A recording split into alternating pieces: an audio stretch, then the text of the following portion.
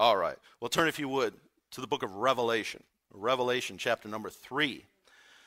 We continue on in our message series uh, as we're going through the entire book of Revelation, verse by verse by verse. Um, this book, as, as the entirety of Scripture, uh, is a mirror. And uh, sometimes, if you're like me in the morning, the last thing you want to do is look in a mirror. Sometimes you look in the mirror in the morning, and you're like, "Ooh, wow, that's not the same guy that went to bed last night. What happened? Something, something terribly went wrong through the night." Uh, but it's amazing what some hot water, some soap, and a cup of coffee can do. Uh, but uh, the, the, God's word is a mirror, and it shows us exactly who we are and what we need to work on, and so on and so forth. Uh, we're going to briefly, very briefly, we're going to touch on eschatology. Um, in this particular chapter, and of course, it'll become very prevalent as we as we go on through the chapters. Uh, we're going to touch on it very briefly in this chapter. Uh, most believers, many, I don't say many believers, very, very uh, well learned believers, uh, seminary professors, pastors, and so on. Um, and I'm not saying I have that kind of scholarship, but many struggle with eschatology. They know that there is a rapture, right? Uh, a snatching away of the saints, of those who have passed as well as those who are alive, right? 1 Thessalonians 4. The, the problem is with many is they don't know when, when it will be. And I'm not talking about a date. Uh, as far as the tribulation goes, as far as the great tribulation goes, and when that rapture. And there's many that will say, well, we as believers, we have to go through the, the great tribulation period. And that obviously, I, I could see, and I have read their opinions on that matter and where they draw that conclusion. The problem with each and every one of them that I have seen that hold to this, well, you could say a, a post tribulation rapture, um, they never incorporate Leviticus 23 into it. And folks, if you don't know Leviticus 23 and God's calendar, and in particular the fall holy days, you're going to struggle with eschatology. Uh, it, you got to know the holy days. Unfortunately, what has happened in the Christian church is that so many believers have been taught, well, the holy days and the, and the law and all that, it's all been done away with at the cross. And of course, when it's not taught and it's not understood and it's not lived out, well, of course, you're, not, you're going to struggle with eschatology. Uh, but we'll uncover all that stuff as we go on, and, and I'll show you, according to Revelation, according, according to 1 Thessalonians 4, the Gospels, as well as Leviticus 23. Uh, God's holy days and how all that is worked into his future, his calendar, and when these uh, events, at least uh, on a on a on a uh, which comes in what succession, that will will touch on all those matters as we go along. But let's go to the Lord in prayer before we start. Abba, we thank you once again for the day. Certainly, thank you for your word. Thank you for those who are here. Bless us in spite of us. Open up our eyes and our ears. Lord, there's many, many truths um, that, that are in this, this passage today that we need to examine ourselves and look at it and certainly pray for the brethren and pray for each other, pray uh, for a revival even amongst ourselves. We ask all these things uh, in Yeshua's name as always, Lord. Amen. Amen.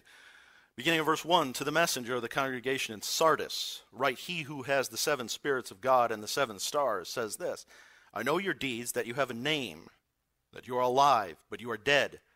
Wake up and strengthen the things that remain, which were about to die, for I have not found your deeds completed in the sight of my God. So remember what you have received and heard, and keep it, and repent. Therefore, if you do not wake up, I will come like a thief, and you will not know at what hour I will come to you. But you have a few people in Sardis who have not soiled their garments, and they will walk with me in white, for they are worthy. He who overcomes will thus be clothed in white garments, and I will not erase his name from the book of life and I will confess his name before my Father and before his angels. He who has an ear, let him hear what the Spirit says to the congregations. Mayam hmm. Chaim. So, Sardis. Sardis um, was the capital of Lydia, uh, Roman province. Very important city. Uh, was well known for its trade, well known for, for its commercialism. Uh, Sardis housed a uh, a Roman military outpost.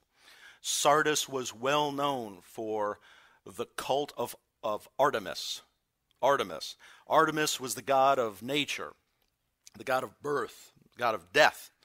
Uh, Sardis was well known for its manufacturing, uh, the manuf- manufacture of woolen garments, and so on and so forth.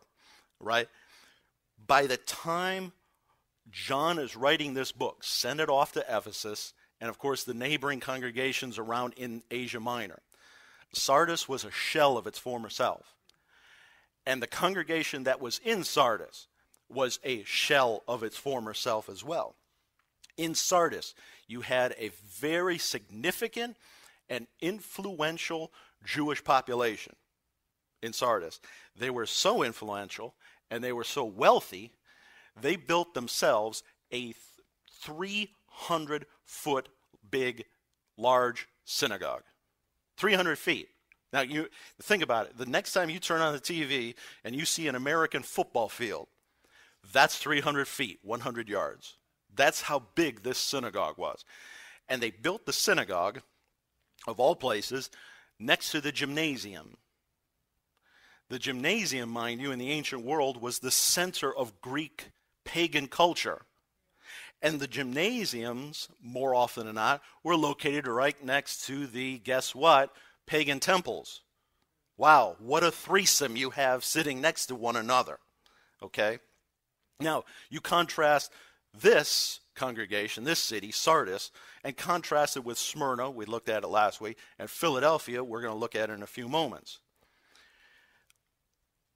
Smyrna and Philadelphia had their run ins with the unbelieving Jewish population. Sardis didn't have that problem. Not at all. In fact, Sardis, the believers in Sardis, blended in very well with the, the unbelieving Jewish population.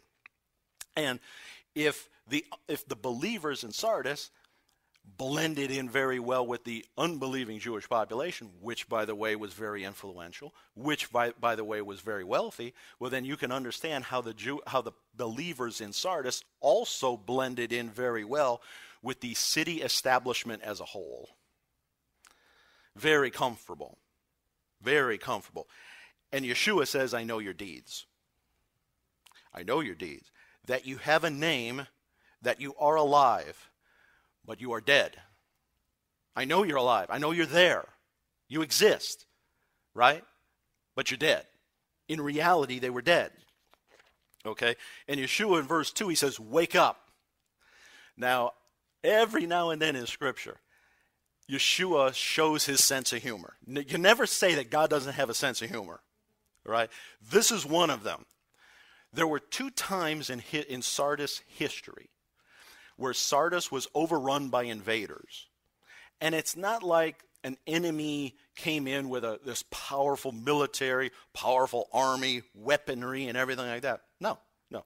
The two times that Sardis had been overrun by, by invaders was the times when the watchmen, who were supposed to keep watch over the city, fell asleep. They literally fell asleep. And the invaders marched right on in and overtook the city. And it didn't happen once, it happened twice. so when Yeshua says, wake up, you can tell the kind of smack that that kind of sounded, a little bit of sarcasm there. Verse 3 You know what you've been taught. You need to repent.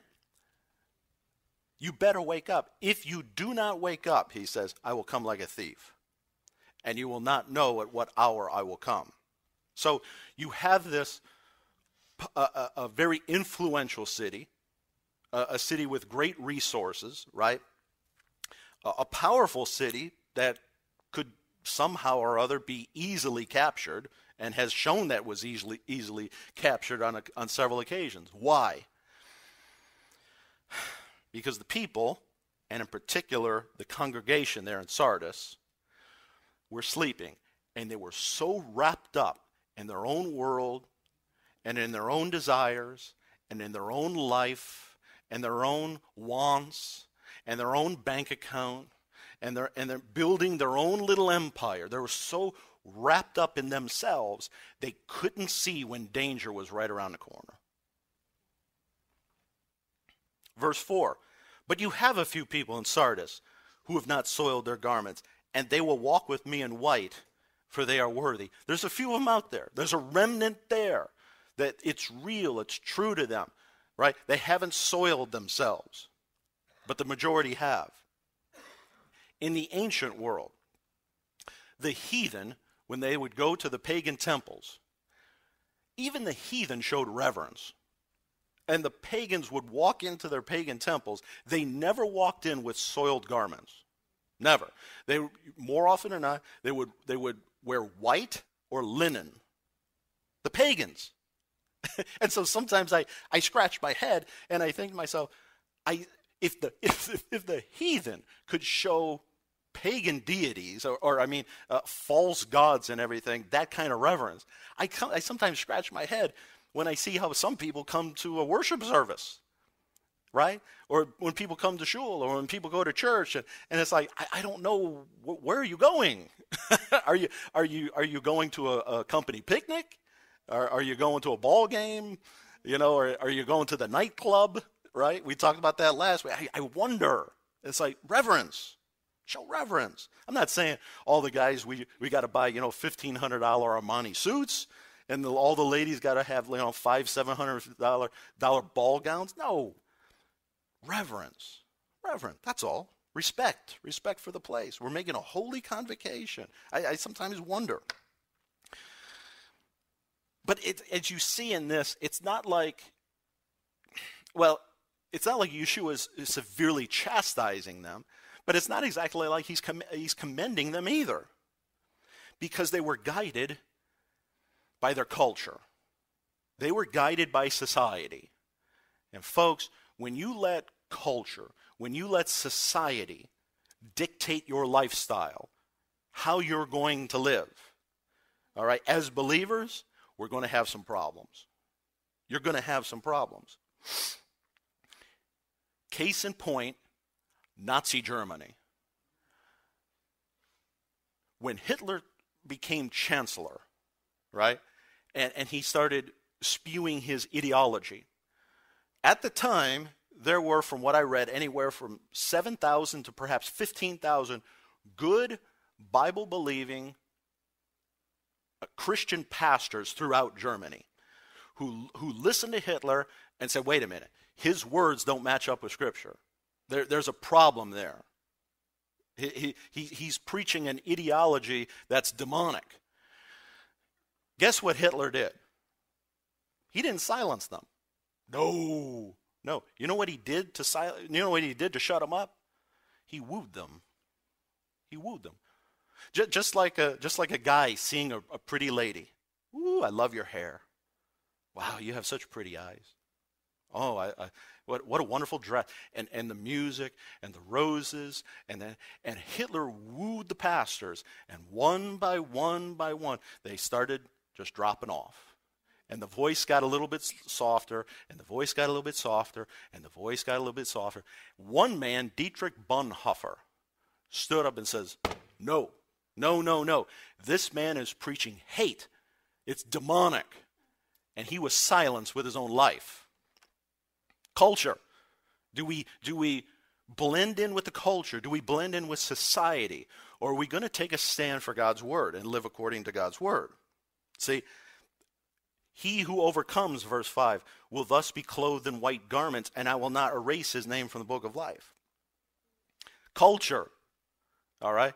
Here's one of the problems many churches in this country, many churches, right? The culture says that homosexuality is an accepted lifestyle. And folks, that didn't happen overnight. That's little little spoonfuls down through the years. And now we've come all the way to 2019 where it's an accepted lifestyle. We're even voting them into office. But my Bible says it's an abomination and God hates it. Hates it. See, the culture says otherwise. The culture says that abortion is a, an accepted form of birth control. My Bible says it's murder. And now we're now we have politicians who are in office saying, "Well, yeah, it's fine, it's quite all right to abort a child well into the third trimester." And we've got nurses, and I read the stories of nurses in these abortion clinics who heard the babies crying as they were being destroyed. That's what's happening in our, in our culture, in our society. And you know what disappoints me more than anything is we've got men that are standing at pulpits on, on TV and they've got a camera in front of them and they've got the audience in front of them and they could say something and they say nothing. Silence. Why? Well, we don't want to cause waves. We talked about that earlier. We don't want to cause waves. You see, if you get up, you'll take your purse and your wallet with you.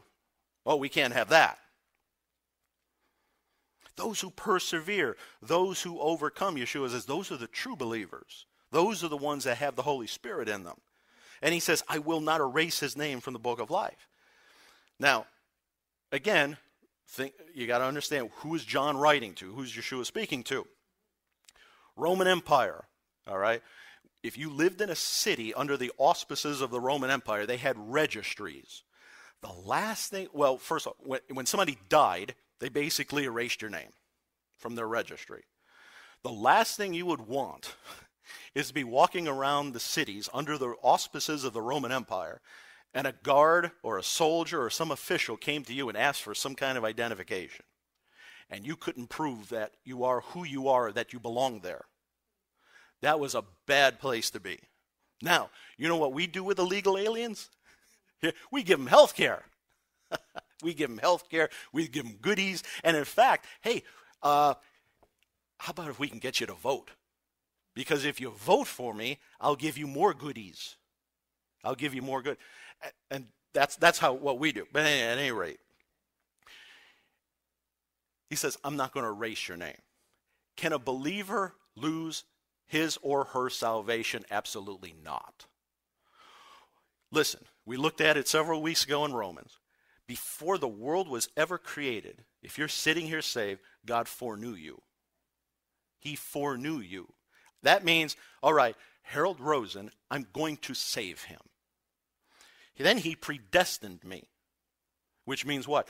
Okay, now that I've chosen you, now this is how I'm going to save you.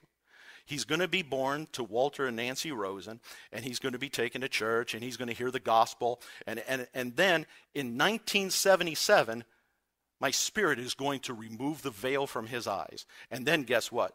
He calls me. Prede- foreknew, predestined, then you were called. Then you were called. That means at that day, 1977, the gospel hit my ears as a little one. It was seven. I went to my room. I remember I, w- I was in my bedroom and I understood what the Lord had done for me. I heard the call and I was obedient to it. The veil had been, been removed from my eyes. Then what did he did? What did he do? He justified me. So he imputed his righteousness to me, and now I'm declared not guilty before God. Now I've been I foreknew me, predestined me, called me, justified me. What's the last one? Glorified me. Now wait a minute. We talked about it the other week, right? Glorified. But I'm not in a glorified body yet. As far as he con- is concerned, I am because God sees everything at one time. He sits outside of time. He sees the past, the present, and the future all at one time. So, my glorification, my resurrected body, as far as He's concerned, it's a done deal. It's a done deal. Yeshua told his own disciples in Luke 10 20, Your names are written in heaven. The author of Hebrews, chapter 12, says, When you get saved, your names are enrolled in heaven, never to be taken away. All right, so let's wrap up Sardis. What do we learn from this? Do not grow comfortable where you are. Don't grow comfortable. Don't, don't get lazy, right? If, if you were thirsty, you hadn't drank anything for a day or two, and I handed you a cup, and I said, here's two bodies of water, right? This one, it's a it's a mountain stream. The water's flowing down it. Look at that water coming down. Over here, there's this pond. It's rather stagnant. It's kind of got a green film on it. You see all the mosquitoes. Where would you go? Don't get comfortable. Comfortable believers are stagnant disease believers. Okay?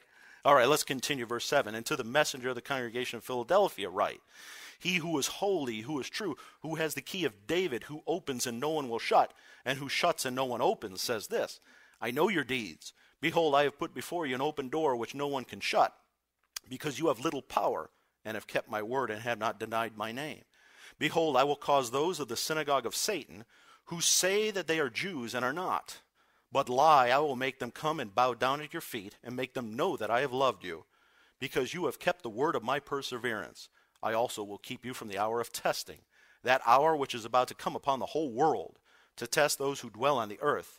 I am coming quickly. Hold fast what you have, so that no one will take your crown. He who overcomes, I will make him a pillar in the temple of my God, and he will not go out from it any more. And I will write on him the name of my God, and the name of the city of my God, the new Jerusalem, which comes down out of heaven from my God, and my new name. He who has an ear, let him hear what the Spirit says to the congregations. We know that the, the greatest commandment love the Lord your God with all your heart, with all your soul, with all your might, and love your neighbor as yourself, right? It's not enough. You got to have a love for the lost. We've got to have a love for the lost. Philadelphia. Philadelphia was the gateway to the east. Philadelphia was, was called Little Athens. Philadelphia sat on this main route from the imperial post to the east. And so, Philadelphia, if, if you wanted to advance, if you wanted to, to be, become a success, you could go to Philadelphia. Here's the, here's the one problem, the big problem that Philadelphia had, ancient Philadelphia. Geographically speaking, it sat on a fault. And Josephine would know coming from California. All right, and San Francisco, that whole area, it's, it's, it sits in a place where an earthquake could happen at any day. All right, and one hit San Francisco back in 1906, destroyed the city. My grandmother on my mother's side was born one month after that earthquake hit. So Philadelphia sat on this geological fault.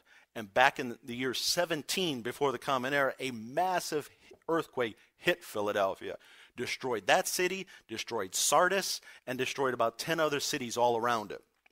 Many people picked up whatever they could and they left. And they went and they settled down somewhere else. Philadelphia was rebuilt. But as you would expect, it was hard to get people to come back. Some people did, but they trickled in. They trickled in.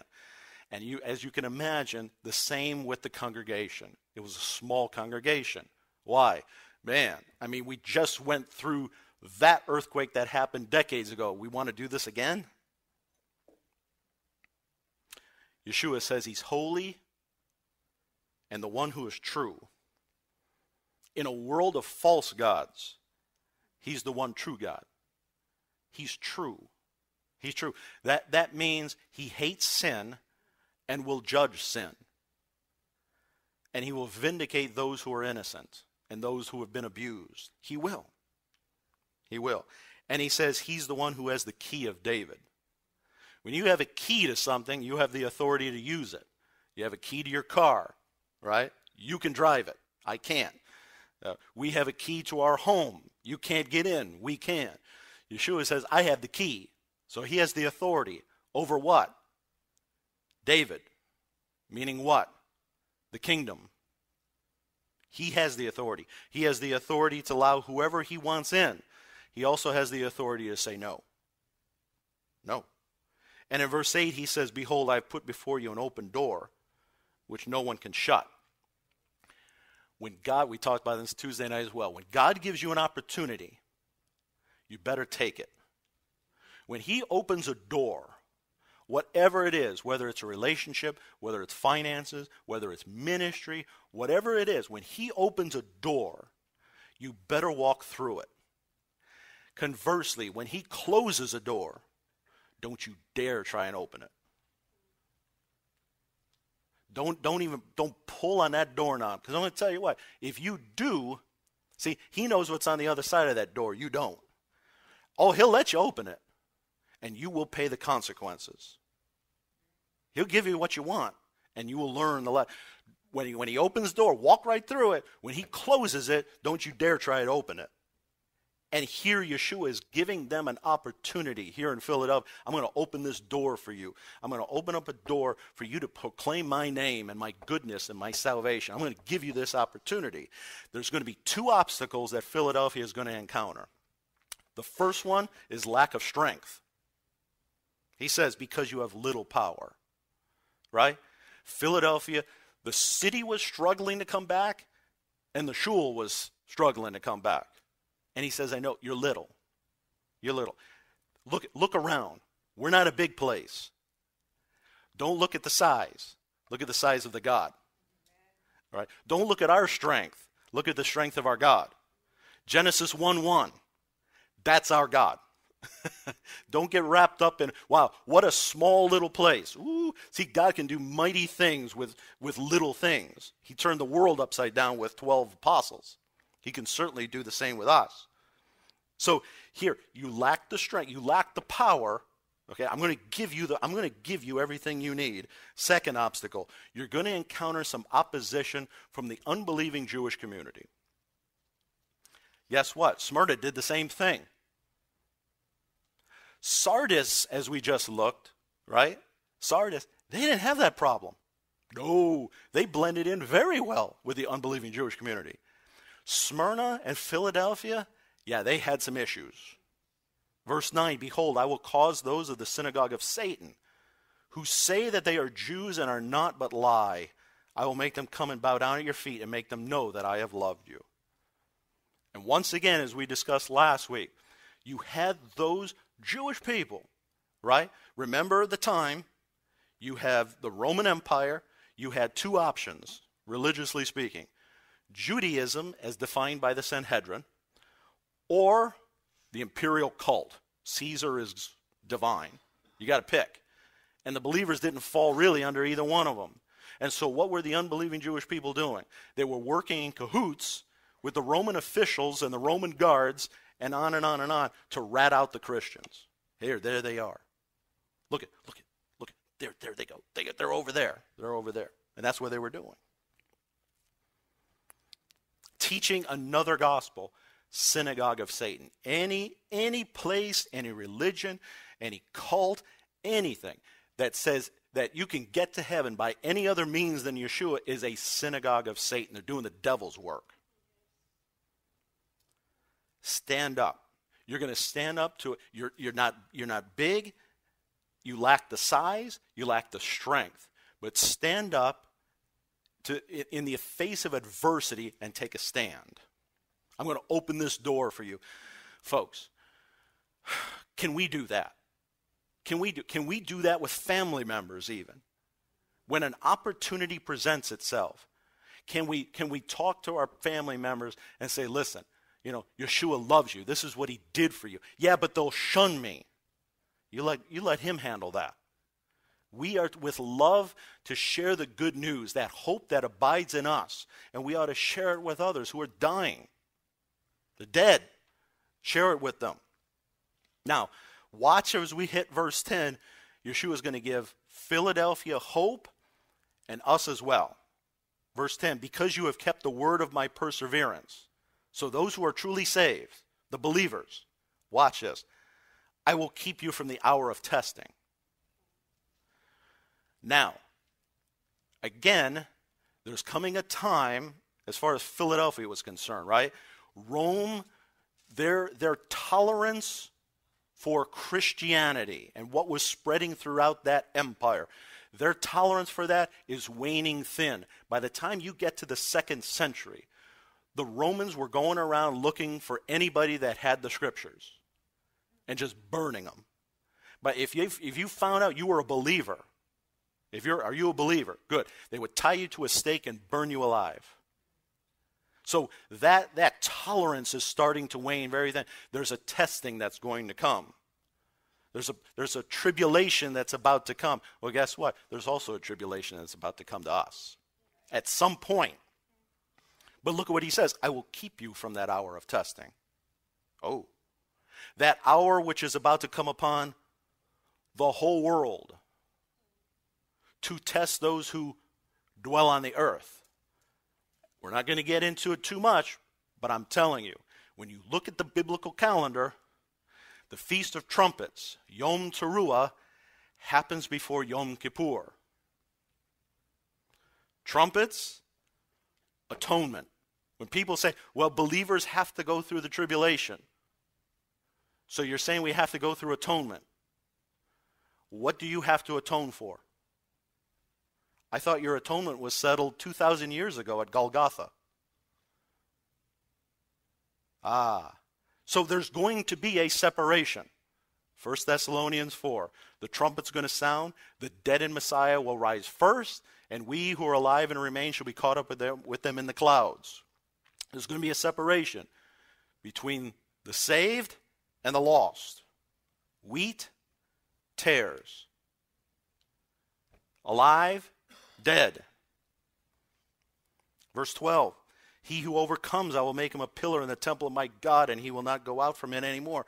Can you imagine how that, how, what, what a good sound that was to the people in Philadelphia who decades before, decades, their, their grandfathers or whatnot, their grandparents had suffered through that earthquake and they had to flee the city. And he goes, Guess what? You're not going to have to flee from the city I'm going to place you in and I will write on him the name of my God, the name of the city of my God, the New Jerusalem. Don't worry, the city that I place you in, you will not experience calamity anymore. Ooh, what a good sound that is. Okay, so let's close up Philadelphia. What can we learn? Well, when God gives you an open door, walk through it. And when He closes a door, don't open it. we should always be praying all the time Lord, if this is something that is in your will, open the door for me. I'll walk through it. Give me the strength. G- g- help me uh, uh, help me to walk through the door. Lord, if this is not what you want, close the door and don't let me walk through it. I don't want to do anything outside of your will. Don't miss out on opportunities. 1 John 2:28. Now little children abide in him, so that when he appears we may have confidence and not shrink away from him in shame at his coming. Think about all the opportunities that we've already blown. We had opportunities and we didn't take them. And now, who, who of us, when we see Yeshua face to face, do you want to stand in front of him ashamed? Or do you want to hear him say, hey, well done? I know that's what you want. Well done. Trust in him. Look for the opportunities. All right, let's continue. Let's wrap it up.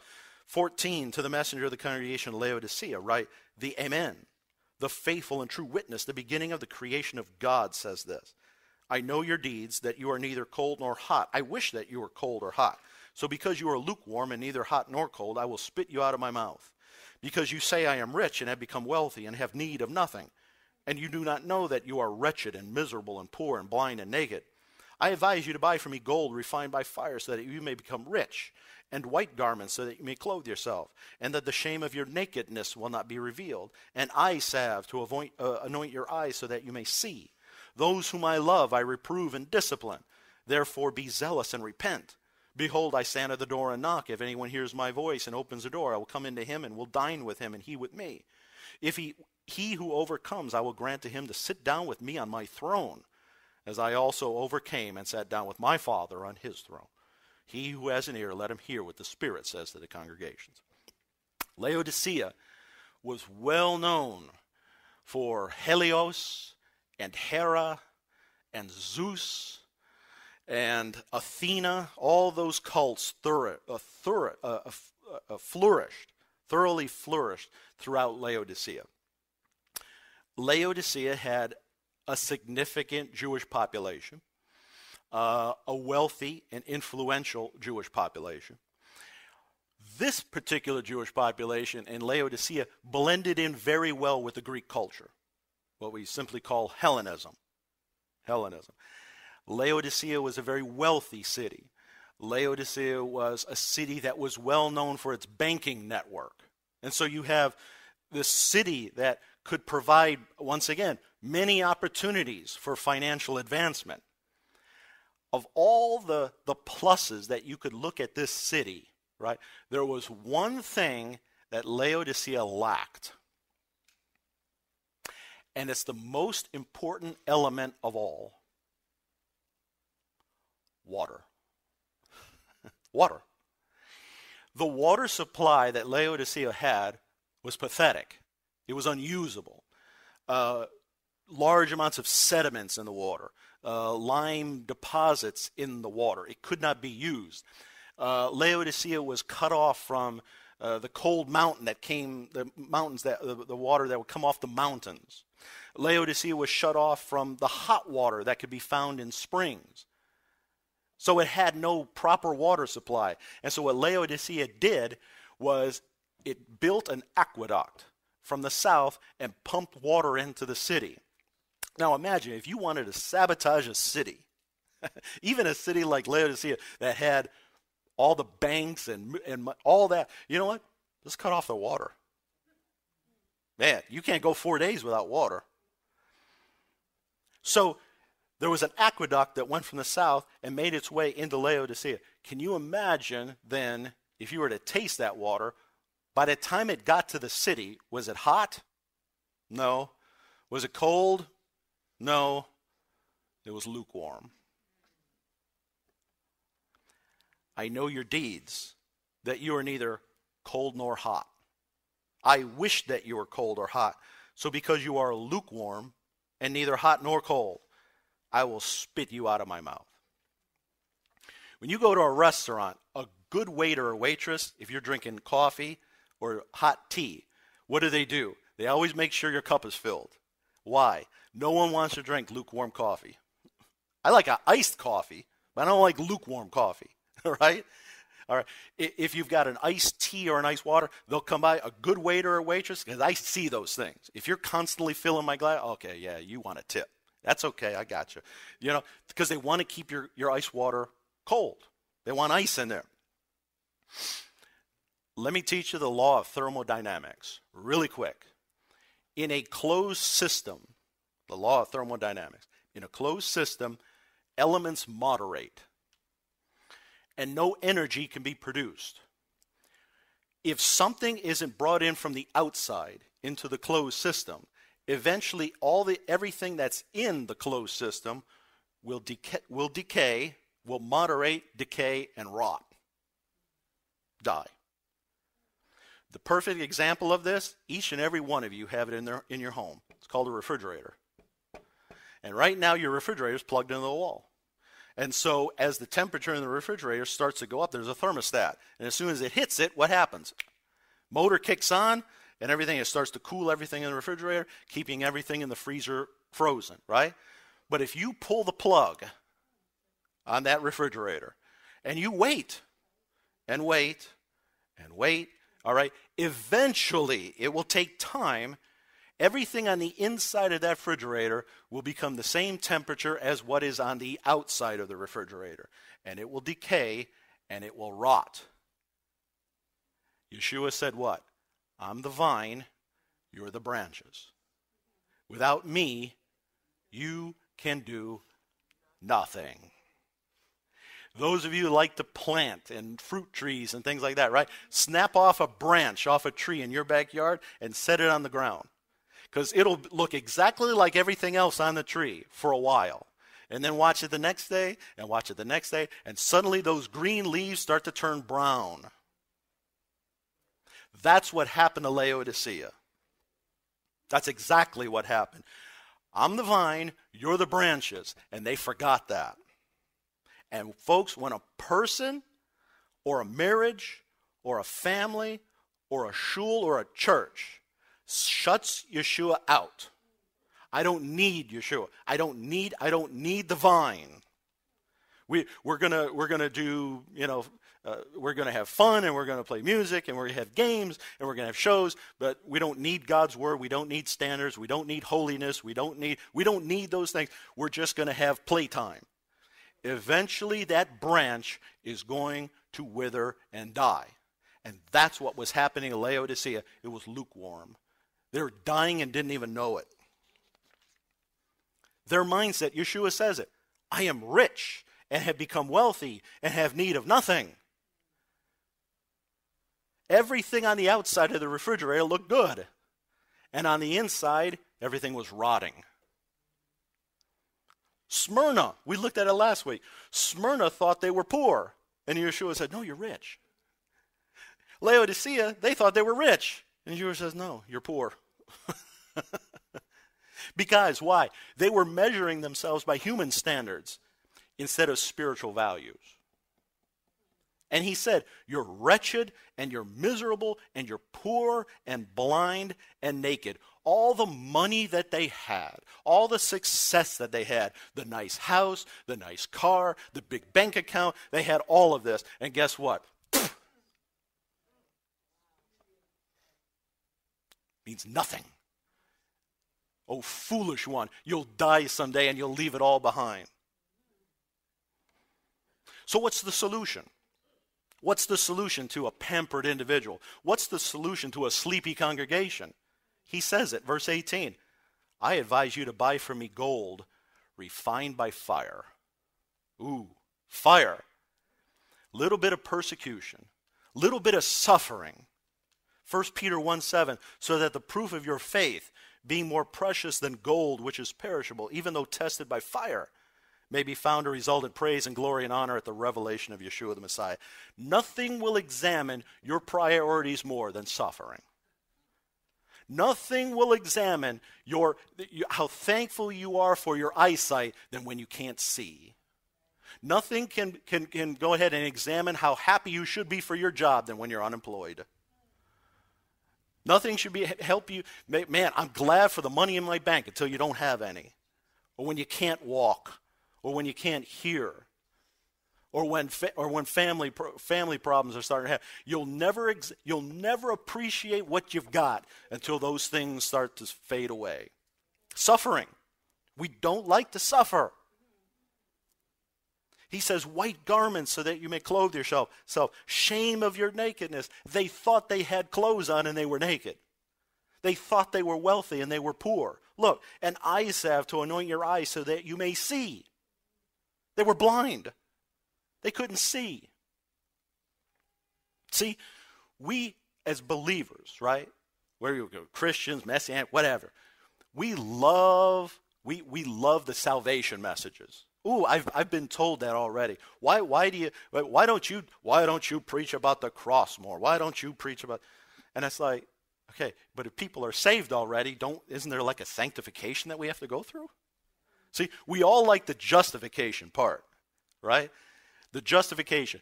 Messiah imputed his righteousness to me. Then it's like a like a check. He wrote out the check and he deposited in my account in my account. His righteousness belongs to me. We love that part. I'm not guilty. Woo! Guess what? Sanctification.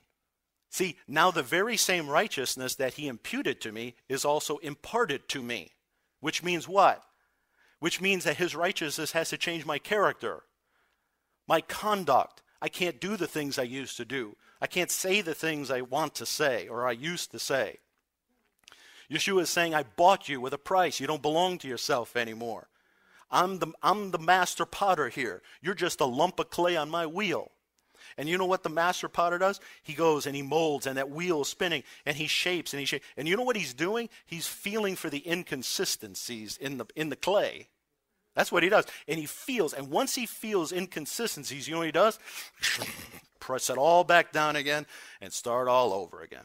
We're going to start all over and we're going to go. And then when he finally, okay, I think I got it exactly where I want it, guess what he's got to do? He's got to stick it in the oven and then he puts this in the fire right? And then a potter, what he'll do is after it's been in the fire for a while, guess what he'll do? He'll take it out and usually go like this. And he listens. And you know what he's listening for? He's listening for a sound like a singing. Because that's when the vessel is done. That's when it's ready to be used. And if he doesn't hear the singing, guess what he does? He puts it back into the fire again. It's not done. So the next time God puts you through some kind of test and puts you in an oven and puts you in the fire and he kind of takes you out, you better be singing because if not, you're going to go back in. Those whom I love, I reprove and discipline. I reprove and I discipline. If he's not disciplining you, you got problems.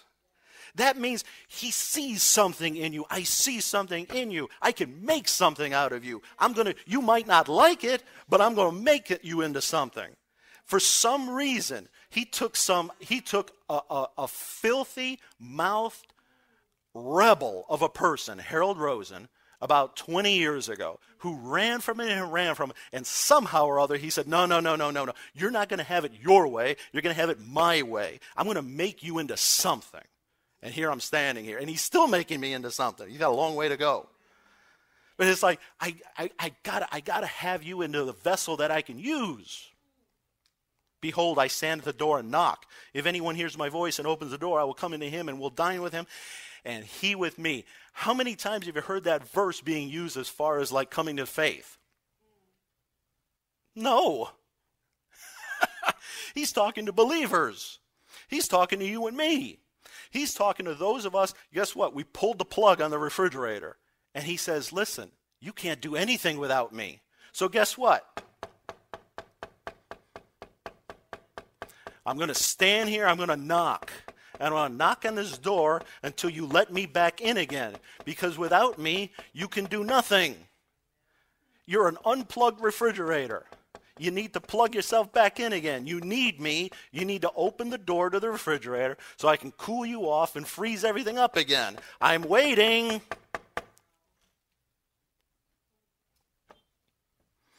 In conclusion, see, listen, just because Yeshua is your Savior doesn't mean He's your Lord. And just because He may be your Redeemer doesn't mean that He's your Master we have to allow His Spirit to mold us and make us and shape us into what He needs us to be. And folks, that's a that's a painful process. And we don't like that. And we fight against Him because I want to do what I want to do. And He says, No, no, you don't belong to yourself anymore. You belong to me, and I've got plans for you. So open walk through the open doors allow His Spirit to make you into what He needs you to be. It might be painful. It, it, you might cry an awful lot. Trust me, He knows what's best. He knows what's best, and He'll bless you mightily. Let's pray.